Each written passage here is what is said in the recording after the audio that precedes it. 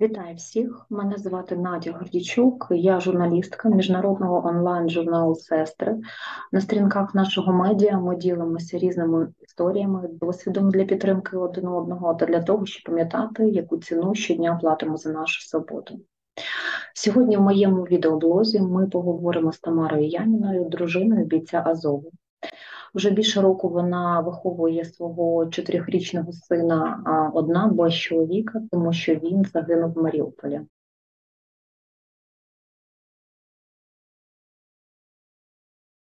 Тамара, добрий день. Дякую, що погодилися на відверту розмову. Розкажіть, будь ласка, за яких обставин загинув ваш чоловік? Вітаю. Е, Він загинув е, в Маріуполі е, в ніч з 6 на 7 квітня 2022 року. Е, він служив полку Азов і станом на початок повномасштабної війни ну, він вже перебував на службі. Ну і його відправили на бойове завдання Е, перевести бойові комплекти з берега Азовсталі на протилежний берег. Це е, через гирло річки Кальмію, тобто це там, де ріка впадає в море. І цей човен був повен цих боєкомплектів. Їх було багато, я так розумію. І коли вони перепливали річку, по них е, випустили ПТУР. Це такий протитанковий ракетний комплекс, дуже потужний який має сильну вибухову хвилю. І ще за рахунок того, що човен був повний боєкомплектів, там, е, по суті, стався фейерверк цих е, вибухів. І в човні було сім хлопців. Ну і звісно, що ніхто не вижив. Ви про це дізналися від кого взагалі? Про те, що сталося, і взагалі про смерть? По факту я дізналась про це з інтернету я заходжу в Фейсбук, набираю його позивний індієць і мені вибиває цей перший пост. Це чорно-біла його фотографія і ці два слова погиб індієць. І я одразу написала дружині цього чоловіка, який виклав цей пост. І вона мені повіла, що, на жаль, це так, Тамарочка, ми приносимо тобі свої співчуття, тобі зараз зателефонує патронатна служба і мені ніяк не хотілося вірити в це. І через тиждень я дізналася, е, що він загинув на воді, що тіла немає. От, А весь тиждень я думала, що тіло є, і чекала чуда розблокування Маріуполя.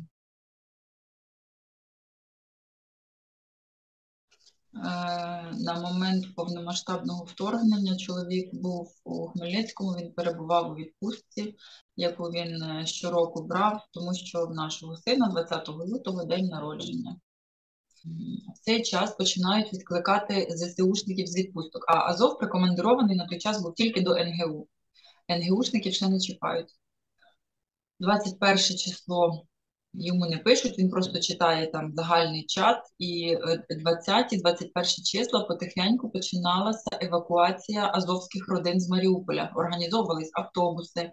Е, Ну і хто міг переконати своїх е, дружин, батьків, то ті е, робили евакуацію з-під е, там Мангуш, Курахове, Маріуполь, ці всі такі примаріупольські містечка. 22 число телефонує моєму чоловікові командир і терміново наказує повернутися на базу в Юрівку в село. Ну і все. Льоша зрозумів, що пахне смаженим, все серйозно. І Він одразу бере квиток на потяг, збирається, і 23 лютого, о 5 ранку, він виходить з дому, щоб на 6 ранку сісти на потяг. І як цей ранок була така якась е, роздратована, по-перше, ранок, я не виспана, по-друге, ці всі новини вони не радують. По-третє, він цю відпустку не добув, і ми, я не могла його провести на залізничний вокзал, як ми це завжди робили, тому що дитина спить, я ж його не лишу і будити не хочу. Але я дуже запам'ятала погляд чоловіка, я такого ще ніколи не бачила. Він е, ну, так з наплічником був на одне плече, обійняв мене. І я дала поцілувати себе тільки в щоку, з того всього роздратування я була впевнена, що він вернеться, і ну, це це не поцілунок на прощання. Не обов'язково було цілуватися в губи, тому що ми ще побачимося. Що Я казала, ти зараз там постріляєш пару днів і вернешся, і добудеш відпустку. І він е, йде до дверей і так обертається через одне плече, подивився на мене. І це був такий погляд трошки з журбинкою, бо він лишає нас. Можливо, він розумів, що можливо і назавжди, я не знаю. Але він був сповнений такого, знаєте, цього козацького такого завзяття, такої якоїсь е, козацької вдачі, от що він іде на війну, в ньому була ця звитяга, в ньому було це бажання, в ньому була ця жага помсти, і він е, він не стогнав, що о Боже, йду на війну ніколи. Просто і от в той момент я бачила в ньому це піднесення якесь таке.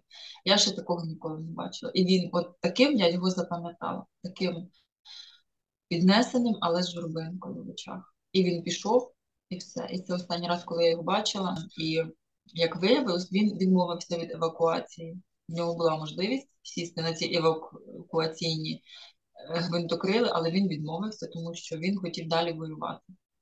Може, воно і на краще, тому що там з тих евакуаційних е, гвинтокрилів один чи два долетіло, решта їх позбивали. В принципі, доля спіткала їх така сама, як і решта. Почалося повномасштабне вторгнення, і чоловік поїхав. Ви Е, зідзвонювалися з ним, можливо, були якісь від нього там вказівки, поради, як себе краще поводити, там де ховатися, виходити, не виходити. Все ж таки він військовий, якось може інструктував вас. Ну, він казав, що треба спускатися в бомбосховища, і ми жили на той час на п'ятому поверсі. Це теж було досить непросто з маленькою дитиною, але я його слухалася і, напевно, перших тижнів два я спускалася в бомбосховище кожної сирени. Це, чесно кажучи, був просто е, просто якась божевільня, тому що мені здавалося, що я вже сходжу з глузду. І ми з моєю подругою фотографом організували фотопроект «Нескорені», і я мала якусь таку ем, діяльність, на яку я відволікалася, і я кошти з цього фотопроекту е, спрямовувала на донати чоловіку дуже подобались ці фотографії. І ви уявляєте, я рік тому просто не могла зрозуміти мою реальність і його, і наші і відмінності наших реальностей. Взагалі так мало писав про те, що там відбувалося. Він настільки мене оберігав. Це ми з ним здзвонювалися, але він одразу сказав, що дзвонити буду я, ти не телефонуй мені, я буду сам. Він кажу, добре, без питань, як скажеш. Мабуть, е, ви ж читали новини, те, що розуміли взагалі, який жах там відбувається, що там вони в оточенні і так далі. Ну, якийсь такий феномен, я не знаю, чи це захисна реакція. Я все читала, я моніторила всі новини. Але намалювати моя уява оцю картину щосекундних бомбардувань я не могла. Я от йому пишу про те, що ми пішли гуляти з дитиною на сонечку, а він мені відповідає: ідіть, мої хороші, гуляйте, е, поки сонечко, поки тепла погода. І зараз, коли я перечитую нашу переписку, я розумію весь абсурд е, моїх повідомлень. Він до останньої секунди не дав мені навіть сумніву мені, в мені не посів, що ми з ним не побачимося. Єдине, що останні дні, там вже от четверте, п'яте, шосте, він мені починав переписку якось там Привіт, мої хороші, я ще живий.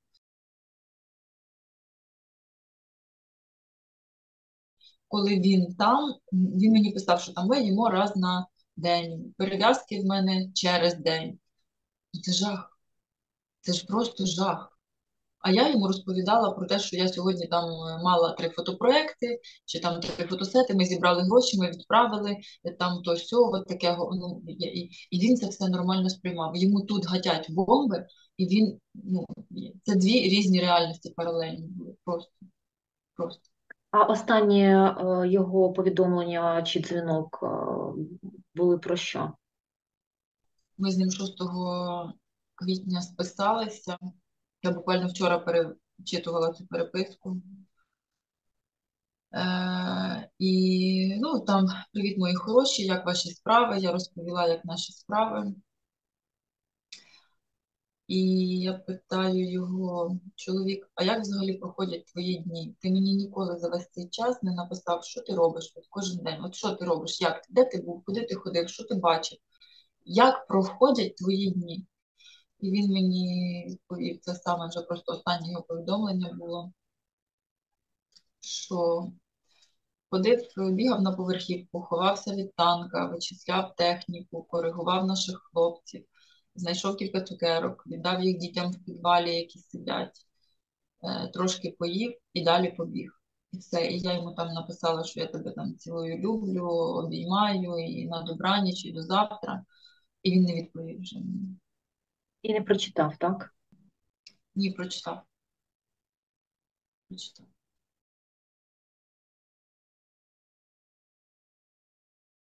Оп, і тобі, кохана, запишу відео. Скажу, що я тебе люблю, Томашка, відьмашка. Ти найкраща жінка, розумниця. Дуже щасливий, що ми одружені.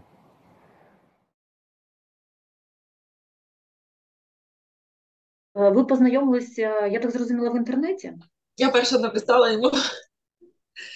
Е, я ну, одразу не виникла симпатія, от що я написала, бо він мені сподобався. Він просто постійно мені е, ставив подобайки на моїх фотографіях.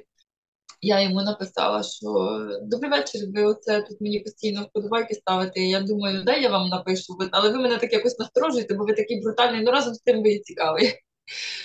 І так як як відчувала, так і написала. Ми почали з ним е, листуватися спілкуватися. Він мене вразив своєю якоюсь культурністю, вихованістю.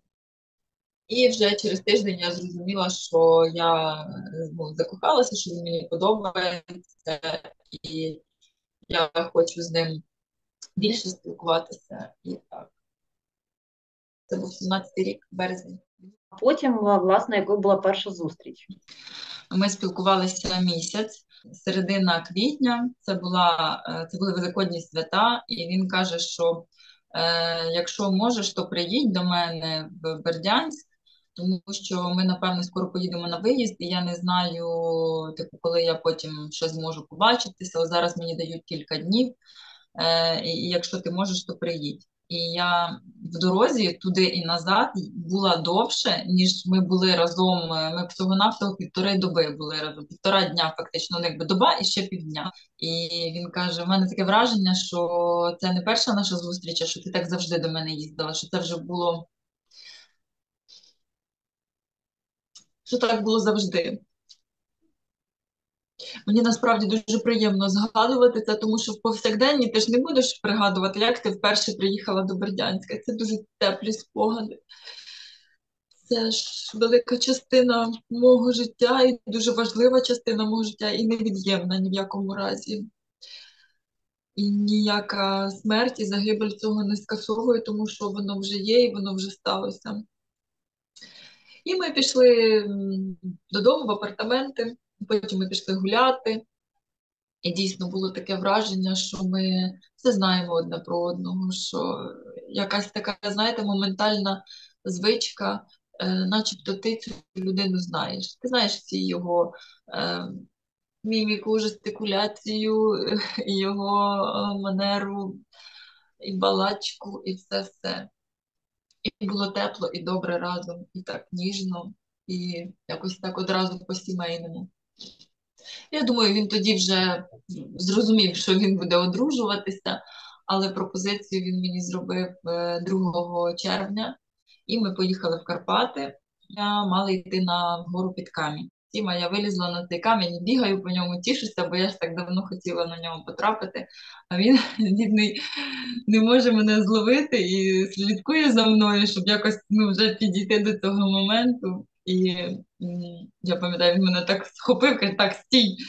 І одною рукою він мене тримає, а другою рукою він так е, метушливо дістає щось з кишені. І я не знаю, як це робити, каже, але я хочу, щоб ти була моєю жінкою. Я хочу, щоб ми були чоловіком і жінкою. Я хочу на тобі одружитися, і я оце тобі пропоную. Ну і коротше, ти сама все зрозуміла. І так він витягає цю каблучку, і він ще навіть не чекає, що я там, що я скажу. Він зразу натягає її на пальця. І ми були щасливі, і ми і голодні, і ми пішли їсти бутерброди. І, напевне, знаєте, з цього моменту, а не з моменту розпису, підпису, ми стали якоюсь маленькою сім'єю. Мені подобалося ці бутерброди одні на двох, складати наші сумки. От мені ця вся сімейна метушня дуже подобалась з ним.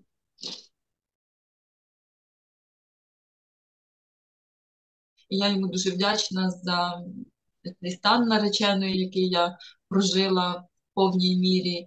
Я вибирала нам е, обручки, я збирала дуже детально свій е, стрій нареченої.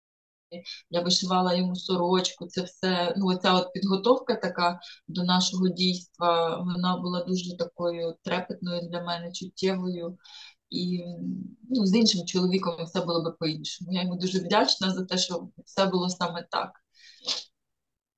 Це, І дуже було гарне дійство. Фотографії вийшли причудові, і це тепер е, така пам'ять, е, ну просто це найцінніше, фактично, що залишиться ці всі фотографії. Такі. Коли Олексій дізнався, що ви вагітна, як він відреагував? Чи дуже хотів саме сина? Він одразу прийняв рішення, що він буде звільнятися. Ось. І е, ми в вересні пішли на УЗД разом. Я дуже хотіла, щоб він побачив, е, що це таке дитинка в утробі, яке воно. А вже в вересні місяць в мене вже трошечки був животик маленький, і вже там дитинка така була досить сформована. І ми тоді побачили стать дитини. І мені чоловік казав, мені немає різниці, яка статі, це все одно дитина, аби здорове було, буду любити.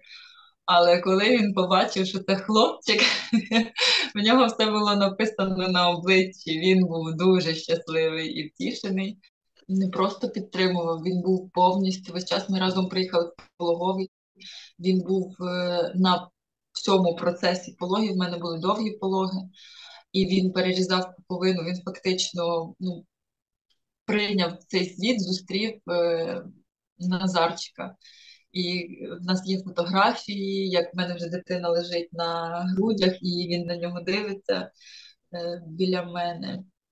І е, він розповідав, що каже, саме перше, це я дивився, щоб в нього все було ціленьке, щоб він був весь, щоб в нього всього вистачало. Ці півтора роки разом вони були для вас якими? Ну, якби я розумію, що вони були для вас, мабуть, найкращими, тому що він був поряд. Я теж так думала, коли він приїде, що вже нарешті народиться дитинка, що я всю вагітність побула сама. Я так хотіла, щоб ми були разом. Але йому було настільки тяжко тут, що цих півтора роки були дуже складними насправді. Він просто не міг дивитися, як місто живе спокійним життям в той час, коли там на сході гинуть хлопці, гинуть люди, навіть цивільні. Ключовим моментом в його рішенні повертатися в Азов стала загибель його найкращого друга е, Роми Віча, Рома Романенко. Він дуже тяжко її пережив. Він поїхав на похорон в Дніпро. Вони були з самих початків з 15-го року, і Рома для нього був такою людиною, теж таким сучасним лицарем, який бездоганно виконував свій військовий обов'язок і ну, от був чоловіком в повній мірі цього слова і в розумінні мого чоловіка, як як він це е, якби, сприймав і бачив. І знаєте, друзі, втрачати дуже тяжко, тому що ти їх собі обираєш сам, це твої люди по духу, які тобі підходять втратити друга в ньому поселилося велике почуття провини, що він був не там, що можливо він е, ну міг щось змінити, вплинути на хід подій, що, він хотів помститися, і після того він почав е, думати якби, всередині в собі, як його повернутися. Він знав, що я е, ну, різко негативно на це зреагую, і... але він мені не залишив вибору. Він просто поставив мене перед фактом і сказав: Я повертаюся, вибач, я більше не можу, я вас дуже люблю, але я моє місце там і все. І ти от, ну, хочеш розлучайся, хочеш приймай цей вибір, хочеш плач, хочеш, що хочеш роби. Е, І ось так. І він, виходить, був снайпером-розвідником. Так, снайпер-розвідник. Це він завжди був снайпером-розвідником, чи якась була до цього в нього інша спеціалізація? Він ще кулеметником до того, а в основному так він ну з 15-го року він був в Азові, а до з 14 по 15 рік він був в 54-й е, бригаді. Він по мобілізації пішов. е, І вже коли він перейшов в Азов, то він мітив саме підрозділ снайперів. Він дуже хотів, це була його мрія. Він вважав, що це еліта еліт, і він дуже хотів туди потрапити. І навчання вони проходили постійно снайпери, вони завжди вдосконалювалися, і цьому не було кінця і краю. В них постійно були полігони, виїзди. А ось е, це йому дуже подобалось. І ще також дуже подобалось те, що е, хлопцям давали можливість розвиватися, відвідувати спортзал, що це заохочувалось. А він, до речі, у вас займався спортом, наскільки я зрозуміла, і дуже серйозно і професійно. Так, так. Він е, він навіть е, мав кандидата в майстри спорту. Він займався тайським боксом, зокрема Муай-Тай. І в 2014 році якраз вони їздили до е, Білорусі в на змагання, і він там здобув чемпіона світу. І він казав, що спорт це моє здоров'я. Тобто він, якщо не тренувався, то йому він себе ну, гірше почував, це правда. А вже в е, Азові він полюбив е, кросфіт, йому сподобався, і він е, також активно ним займався. Хотіла ще повернутися до теми ем, його ем, до тему Азову. Взагалі було складно потрапити в цей підрозділ. Там же теж якби певний відбір е, з того, що я чула і знаю, так що просто так, якби є певна перевірка, власне, теж. Так, звісно, туди потрапляють не всі. Там має бути певний рівень фізичної підготовки, має бути як сказати, вони проходять психологічні тести на стійкість, витривалість, там адекватність, якщо так можна сказати. Тому що це ж ну робота зі зброєю апріорі так має ну. Це все має проходити. От кулеметник він на собі е, волоче дуже багато-багато кілограмів. Мінімум 10 кілограмів бронежилет, потім сам кулеметний, там не пам'ятаю, скільки кілограмів важить чоловік колись розповідав. Потім ще ці магазини на на кулемети, ще на плічник, там із водою, і з тим всім, і там не тільки вода, ну там дуже багато. Вони на 100 кілограм до 40 е, носили. А взагалі, от він з вами ділився, так, про службу, е, розповідав якісь е, ні? Дуже з нього було щось витягнути, просто нереально. І я е, не вірите, не знаю цих його е, геройських історій. Я тільки зараз е, з вуст інших людей дізнаюсь про його героїзм, про його хоробрість, про силу духу. До мене приходить самої оце усвідомлення, яким, яким він був, наскільки яким він був величним, яким він був воїном з великої літери. Насправді, коли я чую від побратимів, що він був хоробрим, що він рвався в бій, що він себе не шкодував, він не відсиджувався в підвалах, хоча він був поранений, і він мав можливість відсидітись і навіть дожити до обміну. Він мав абсолютно всі шанси. Треба було просто сидіти, вдавати з себе хворого, що в тебе нога не зажила, що в тебе ще там дірка в нозі є. А він всього навсього три тижні просидів. Він чекав з нетерпінням, коли загоїться дірка від кульового поранення в нозі, і він одразу ще от за тиждень до загибелі він ще повоював і хотів е, бити москаля, і він йшов не за медалями, не за зарплатами, не за якимись державними нагородами, не за заслугами, не за визнанням. Він настільки ненавидів е, цих е, нелюдів, які прийшли нищити нашу землю і наш народ. Що він їх він дуже хотів помститися за своїх друзів, яких він втрачав один за одним майже кожен день. І найсміливіші, по суті, і загинули насправді. І найсміливіші заслуговують, напевне, найвищих нагород і найщирішого людського визнання. Тому я не знаю поки що ніяких історій про нього, але я все збираю по крупинках, дізнаюся, розпитую, кого можу. Вчора от доля мені подарувала таке щастя, і я поговорила з хірургом, який його оперував після цього поранення 10 березня. Він вийшов е, також з полону, він тут, він Хмельницькому, хмельничанин. І ви знаєте, говорити з такими людьми, які були дотичні до твого чоловіка, це ніби торкнутися його знов і ще раз. Він його бачив тоді, коли я вже його не бачила. І він розповідав щось таке, чого я не знаю. І от я по цих всіх словах складаю образ, який я неодмінно передам сину. Обов'язково, бо він його вже ну, просто не, не побачить ніяким, ні татом, ні воїном, ні громадським діячем. Мій чоловік, він ну, людина з великої літери, тому що він мало того, що чемпіон світу, багаторазовий чемпіон України, він приймав участь в Революції Гідності, він майданівець. Потім він, як тільки почалася війна, він одразу він не чекав ну, повістки, він сам прийшов військкомат, і йому там вручили повістку. Він розумів, що війна прийшла в його дім, і треба захищати батьків, брата, треба захищати своїх друзів, свою домівку, своє Запоріжжя, Хортицю, яку він дуже любив. І і, і він пішов одразу служити. І потім він потрапив в Азов, це була його мрія. То я думаю, що цей його життєвий шлях говорить більше, ніж будь-які бойові подвиги. І 10 березня, коли він отримав поранення, він брав участь в операції, в якій було ліквідовано е, російського генерал-майора. Це теж була дуже складна операція, якою керував е, його найкращий друг. І я точно якби не знаю числа, але мені здається, що або в цій операції, або одразу після неї його цей друг загинув. А мій чоловік просто отримав е, поранення. Е, і це теж дуже була складна операція. Вони двічі брали штурмом е, москальські групи, і, і вони їх ліквідували, але з втратами наших хлопців.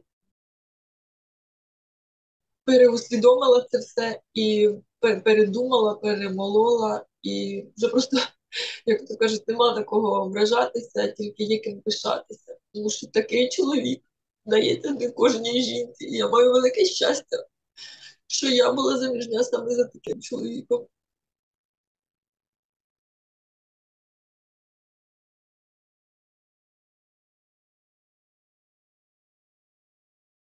От усвідомлення, що чоловіка більше немає, воно прийшло в який момент?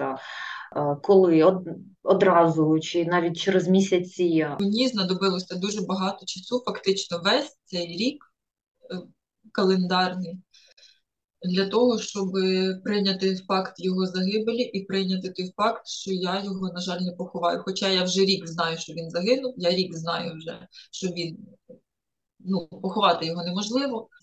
А цей процес очікування він безкінечний. І так просто можна, е, знаєте, померти заживо от в цьому процесі чекання, а я цього не хочу. Я, ну, Моє життя триває, для чогось е, я ще тут є, і я чітко знаю, для чого. В мене є маленька дитина, я не можу його залишити. Він дуже маленький. Він досить того, що втратив тата. Він я не можу собі дозволити бути мертвою біля моєї маленької дитини. От, ну, постійно жити в плачах, в тузі, в цьому всьому. Тому як Йому ж потрібна мама, яка про нього подумає, подбає, організує йому їсти, пити, розваги, взутися, вдітися, щось показати цій дитині, кудись завести, відвести, зрештою, подарувати тепло, любов і посмішку, і турботу. Він так тулиться до мене. Він він хоче любові, тому що він її вже буде недоотримувати. І я в один момент вибрала жити для себе, для дитини, своє задоволення. І коли ти живеш, е, ти ну це розумієте, е, це треба повністю е, переформатувати свою свідомість для того, щоб прийняти ці умови, ну, які мені дало життя. Моя ситуація з тим, що він загинув, з тим, що я не можу його поховати. Вона дала мені шанс на переусвідомлення взагалі самого факту смерті, самого факту е, процесу поховання. Тобто я або е, поміняю своє ставлення до цього, або я буду плакати все життя. Але станом на сьогодні я можу розповісти багато плюсів в тому, що я його не поховала, що все сталося так, як сталося. Я вдячна йому і вдячна долі, що якщо вже воно мало так трапитись, то дякую за те, що трапилось саме так. І це допомагає триматися на плаву, це допомагає не з'їхати з глузду, це м, допомагає плекати в серці любов і вдячність. Я думаю, що тільки це може врятувати людину. У вас є місце, куди ви до нього можете прийти?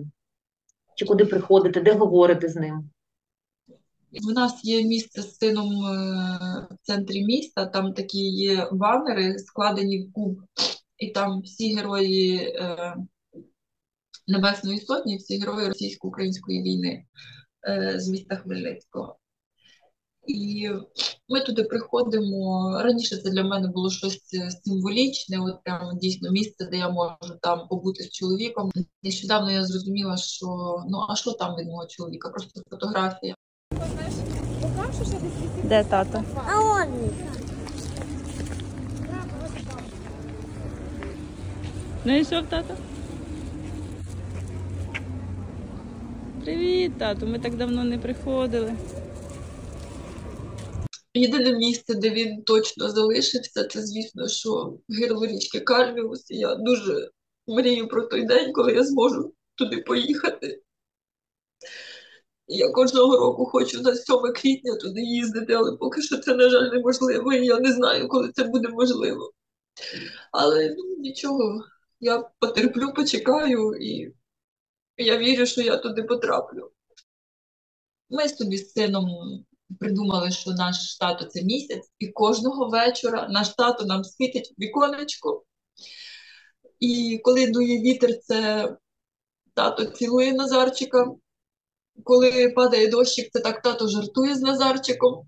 Коли світить сонечко, це тато пестить Назарчика. Моя дитина е, відчуває присутність тата. Я зробила для цього все і роблю, і буду робити, щоб він ну, в силу свого віку і по мірі зростання е, не відчував ніякого дефіциту. Зараз це, звісно, на рівні казочок. На. Зараз давай ще раз татові покажемо, що ми його любимо. Ми тебе любимо. Там місяця не видно. А чому? Наш гарний тато місяць, так? Так. Він так світить через калаву. Угу, красиво. А чого, коли спимо, то до нас тато прилітає? Він по-другому не може прилетіти, тільки коли ми спимо. А чому? Ну, тому що він тепер янгол. Це тепер привид? Так, А це тепер привид. Синочку, добрий ранок. Привіт. Татко передає тобі привіт-привіт.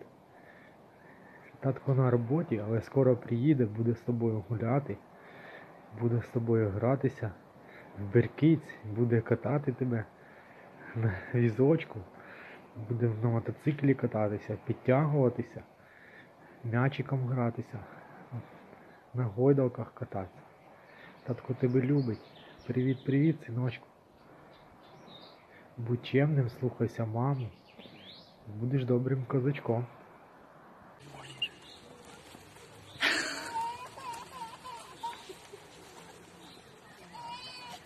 Вже більше року ви без чоловіка.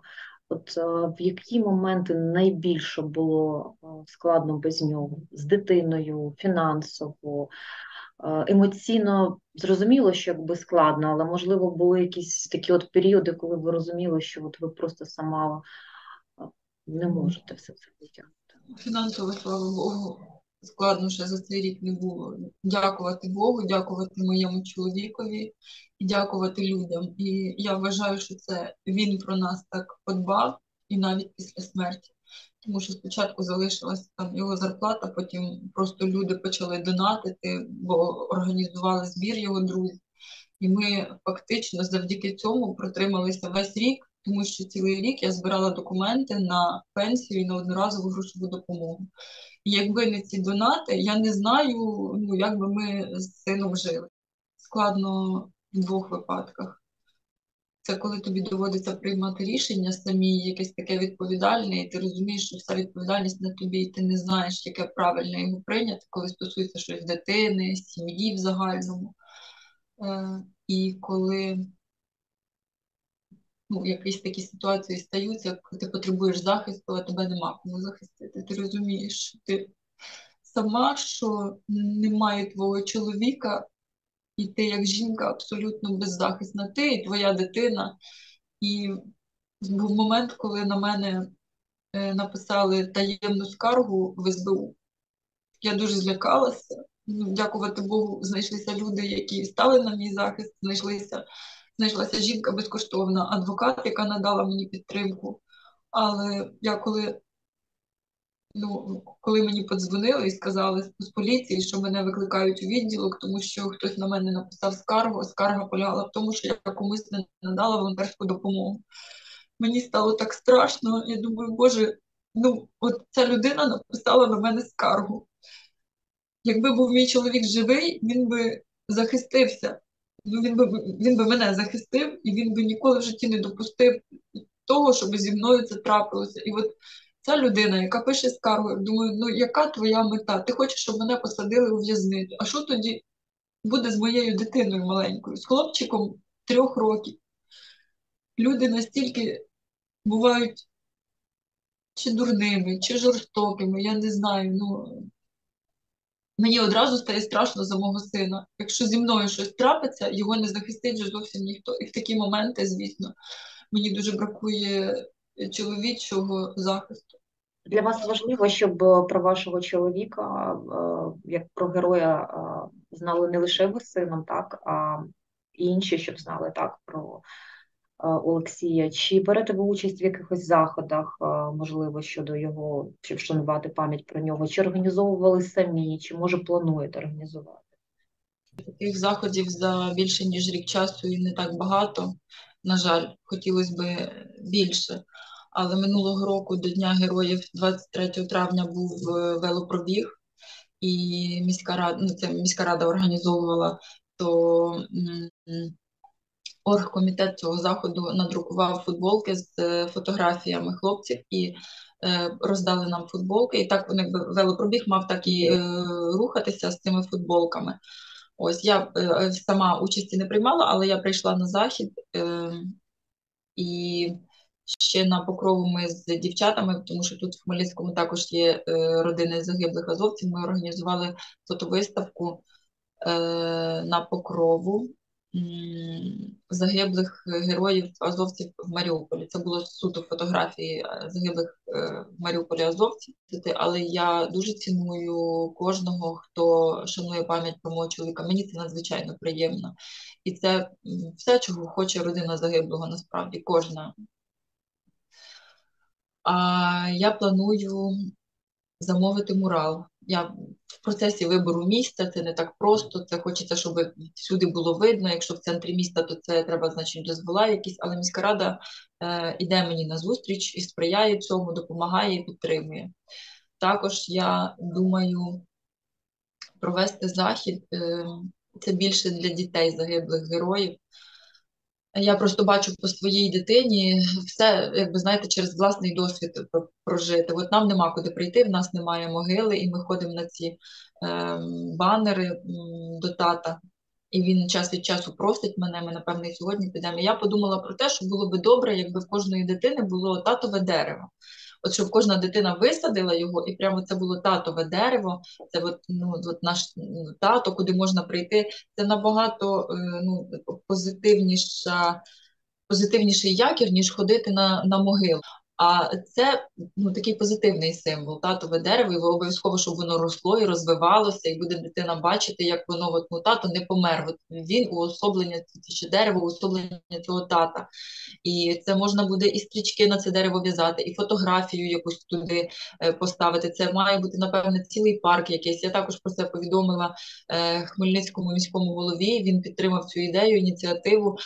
Але зараз е, треба подумати, е, з ким спільно це зробити, де це зробити, бо це має бути велика територія. На жаль, війна триває, на жаль, втрати далі йдуть, і треба подумати про цей парк, як він, яким він буде в перспективі. Тобто не висадити зараз 200 дерев, а далі не будемо знати де. Е, ну і взагалі моя велика мрія. Сподіваюсь, що я її зможу організувати, відкрити школу тайського боксу імені Олексія Яніна тут в Хмельницькому. Чи була у вас е, якась мрія на двох, е, яка по суті зараз е, лишилася з вами? Ми хотіли доньку. Ще. І ну, ми мріяли про, що колись, колись, колись в нас буде будинок з білими стінами, і я хотіла, щоб дах був кольору шоколаду, такого темно-коричневого кольору. Я сподіваюся, що з часом нехай і потім мені вдасться втілити цю мрію в життя. Хоча я, в принципі, ніколи не мріяла жити в будинку, але цю мрію я би хотіла втілити в життя. Він дуже хотів собаку. Ну, не знаю, чи я на це погоджуся.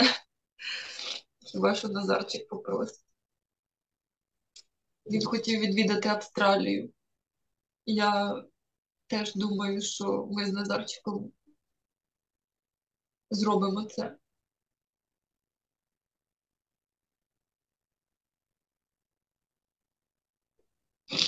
Ну і звісно, він хотів, щоб Україна перемогла у війні.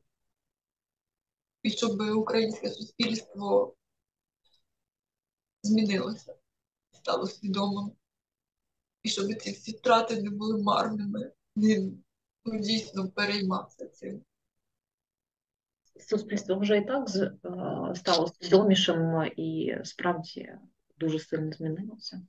Не все в суспільстві. Але так, да, більша частина, звісно. Щиро дуже дякую е, за інтерв'ю, е, за цю розмову. Я розумію, що вам було дуже важко е, емоційно і згадувати, і ви досі це все переживаєте. Е, Дякую вам за чоловіка. Е, Не хочеться вірити, а вірю в те, що справді все це не даремно і ваш чоловік і інші герої віддали життя за, за наш спокій. Тому ми будемо вірити в перемогу. Обов'язково. І перемога настане, і він порадіє. І я вам також навзаєм дуже вдячна за інтерв'ю, тому що це дуже важлива складова інформаційного простору. Багато людей е, не знають, і вони і не будуть знати, якщо ці історії не висвітлювати і не ну, вони мають знати, мабуть, якийсь відсоток жахів війни, щоб розуміти, яка ціна за це все. Тому що якщо вони будуть думати, що все дається просто так, то це не зовсім так. І якщо для когось війна закінчиться перемогою, і хтось вже от заплатить свою ціну, то такі, як е, ми з Назарчиком родини, ми будемо, ну, ми цю ціну платимо щодня, тому що щодня наша втрата не зникає нікуди. І так тепер буде завжди. Це просто треба усвідомити і навчитися з цим жити. Але ми будемо платити цю ціну щодня.